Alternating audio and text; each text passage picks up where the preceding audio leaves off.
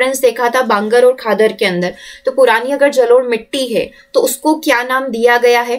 खादर नाम दिया गया बांगर दिया गया भावर दिया गया फिर रह यहाँ पर दिया गया है। चलिए आंसर करेंगे क्वेश्चन नंबर नाइन का। टेलीग्राम पर। ओके चलिए, इसका आंसर करो। हाँ इसका बिल्कुल करेक्ट है। क्वेश्चन नंबर नाइन को देखना है। पुरानी जलोढ़ मिट्टी, कितने स्टूडेंट को याद है कि डिफरेंस क्या होता है खादर और बांगर के अंदर?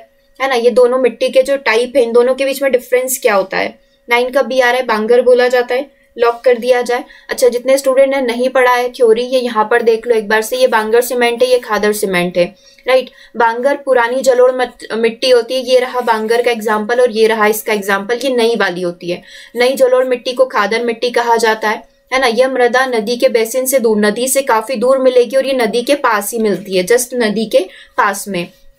यह भूमि काफ़ी कम उपजाऊ होती है और खेती के लिए आदर्श नहीं होती मतलब इस मिट्टी का प्रयोग नहीं किया जाता है।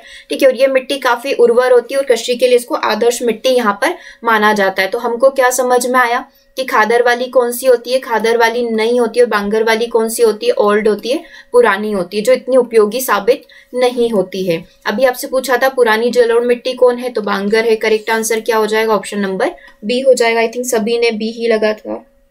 पुरानी को तालल हाँ बिल्कुल बिल्कुल लगा दिया हमने। बी को लगा दिया। और बांगर हमारा आंसर हो गया। क्वेश्चन नंबर टेन को देखना है।